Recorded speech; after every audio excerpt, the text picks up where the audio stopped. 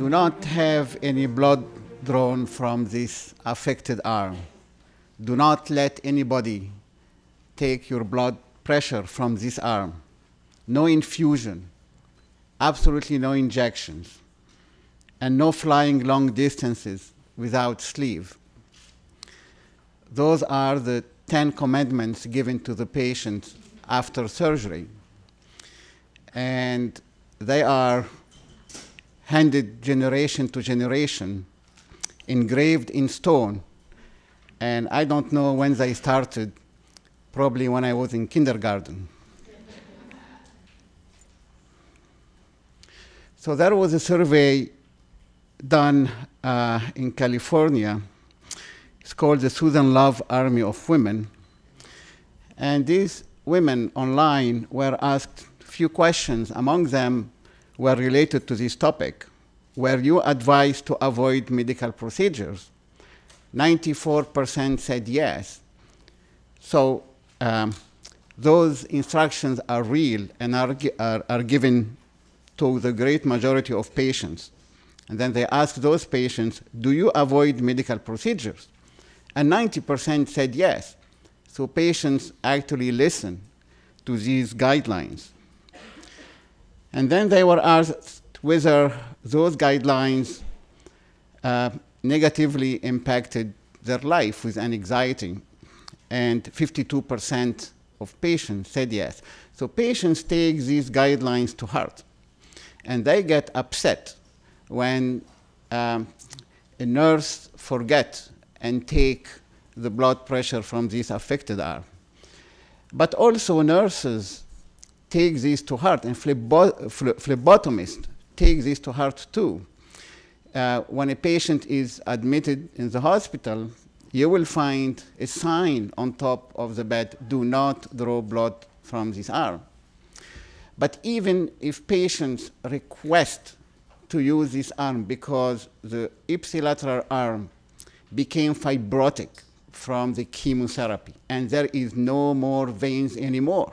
And the other arm is really fresh and can have, uh, can be easily, uh, the vein can be easily accessed.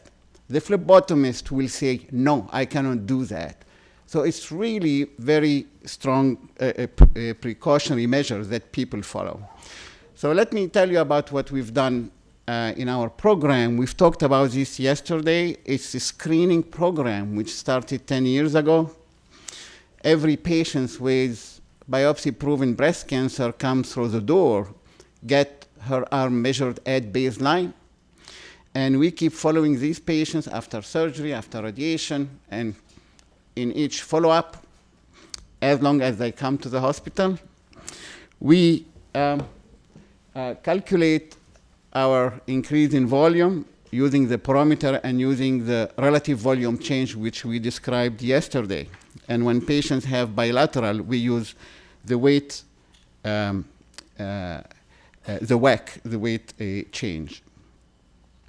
And each time the patient comes and we take her arm uh, measurements, they fill up a questionnaire about quality of life, shoulder function, and uh, etc.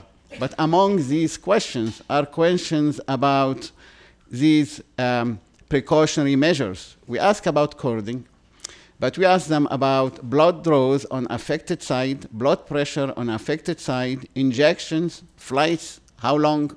So we collect this data, just observation to see what's, what's happening here.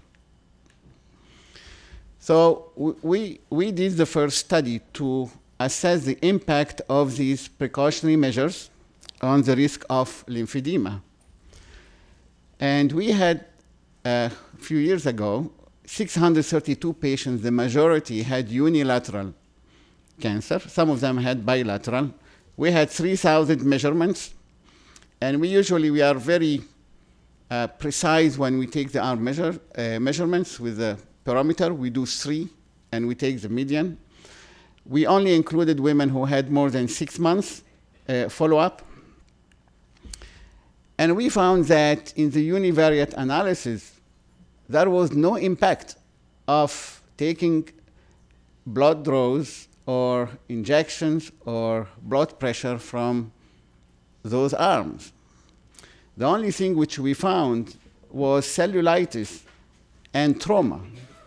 And when we've done the multivariate analysis, we found that the only uh, significant factors were the classic prognostic factors for lymphedema, BMI more than 25, axillary lymph node dissection, regional lymph node radiation, and cellulitis. So we concluded in this study that there was no significant association between precautionary measures with arm volume increase because we saw that those recommendations were supported with few evidence-based data.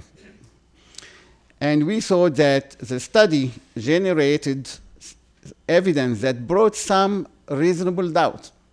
There is a little bit of doubt here uh, regarding these uh, burdensome guidelines. So we started to ask the question, where did these measures come from? So we did a literature review, and we found 85 papers talking about these precautionary measures. Only eight of them were prospective, and from those eight, only four demonstrated some statistical correlation with infection, sauna use, and skin puncture.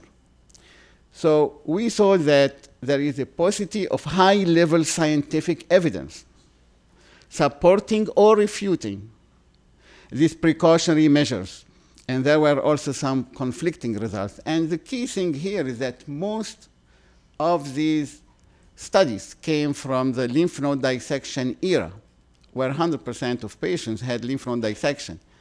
So we are taking these precautionary measures from this era and apply it to today, when only 20% of patients undergo lymph node dissection. And this number is going down because even with women with positive sentinel node, we don't do lymph node dissection in a lot of them. We replace this with, with uh, regional radiation. Now, more than 20% of our patients have bilateral mastectomies. People talk about this. So where will they go? The right is taken, the left is taken. Where will they go? And imagine the anxiety they will go through. So those restrictions may prove especially problematic from this population. And at certain points, they will need a blood to be drawn. They will need a blood pressure. And then you will shift all this to the leg. So there is a pressing need to provide high-level data, level one or two evidence to see are those precautionary measures are necessary or not. We need to do that. So we've done our second paper, which came up last week in JCO, looking at only women who had bilateral surgery. So it's a cohort of 327 patients with 654 uh, at-risk arms. They were treated from 2010 to 16, and the lymphedema diagnosis was contingent upon both the clinical examination and the objective evaluation of the volume. And at Mass General Hospital, women who request contralateral prophylactic mastectomy they undergo also sentinel lymph node mapping for some reasons. So with a follow-up of 27 months, and 95% of our patients had the bilateral mastectomy, only 5% had bilateral lumpectomy for obviously bilateral breast cancer. The two-year cumulative incidence of lymphedema was around 12%, which is reasonable. And looking at the univariate analysis, we did not find any of the precautionary measures as a risk to develop lymphedema. So these women had one arm or the other used for one of these precautionary measures.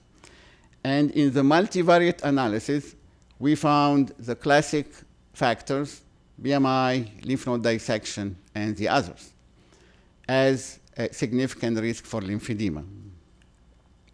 So we concluded that air travel, blood pressure readings, blood draws, injection, trauma, on the at-risk arm were not associated with arm volume increase in this cohort. So we went one step further. Infusion, which is very important. We looked at all women in our screening program who had chemotherapy and as a control, women who did not have chemotherapy. We had 1,200 patients with baseline measurements and followed with our measurements. Among them, 600 no chemotherapy.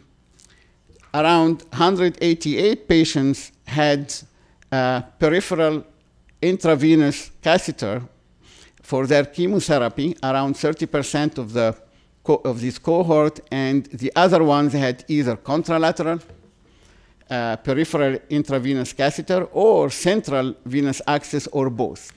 So this will be the cohort to analyze. The median number of infusion was six. And when we looked at the incidence of um, more than 10% relative volume change, the entire cohort was 7%, the no chemotherapy was 4%, but otherwise, whether you had peripheral intravenous um, access device, 10%, whether ipsilateral or contralateral, the central is here, and both are there. Really, no difference between them, whether you go to the ipsilateral arm or not. And when we've done the univariate analysis, again, the classic lymph node dissection, etc., were found to be significant. But when you look at ipsilateral peripheral intravenous uh, access device versus no chemotherapy, there was no significant difference. Ipsilateral versus contralateral, ipsilateral versus central access, or ipsilateral versus contralateral uh, peripheral and central access, like we've done every combination. There is no difference. And when we've done the multivariate analysis, and we took the ipsilateral peripheral against everybody else, that just anybody who did not ipsilateral, did not have ipsilateral access, there was no significant difference. All right, we said 10% increase in volume is too much. What about a little bit of swelling? the 5 to 10%, the mild swelling. Also, we did not find any significant difference whether you had infusion in the ipsilateral arm or contralateral or peripheral. This was in the univariate analysis, and this is in the, contra, uh, in the multivariate analysis. So we concluded again that all these precautionary measures are not associated with arm volume increase in this cohort. Although risk reduction guidelines, as described in the NLN position statement, are based on clinical common sense, clinical reasoning, but the data to support that are limited. There is no level one evidence to show that. Studies that sought answers about risk reduction guidelines were restricted in scope and predominantly small, retrospective, and single site reports with cohorts that underwent mostly lymph node dissection. It's a different era. But I want to really um, be careful with misinterpretation because this data made a lot of people mad. and a lot of other people happy. Um, we're going to be very careful. We do not recommend practice change. We just recommend to come together and initiate a study, level one evidence study, in order to get to the bottom of this. Are they important or are they not important? So our goal for people who are very, um, with a high level of anxiety, for people who take this really to heart, is to put a little bit of doubt, and we still recommend try the opposite arm. And then if there is a fibrotic vein, it's fine. I mean, those precautionary measures are not supported by uh, strong uh, scientific evidence. And I hope one day that we can custom those guidelines. We cannot tell patients who had sentinel node the same as women who had lymph node dissection. Maybe the lymph node dissection, regional lymph node radiation, just be careful. But sentinel node, uh, I mean, should have a different tone when we, uh, when we tell them about these precautionary measures. It has to be further studied. It's time to study these precautionary measures. But there is one thing extremely important to say that all what I'm presenting um, does not apply to women who develop lymphedema. Any patients who had already lymphedema uh, should follow those guidelines really uh, a, a very, very carefully. So all these for women who did not develop lymphedema. I would like to give a lot of credit to my team with all these thousands of women uh, from the day we started uh, until today. Thank you for your attention.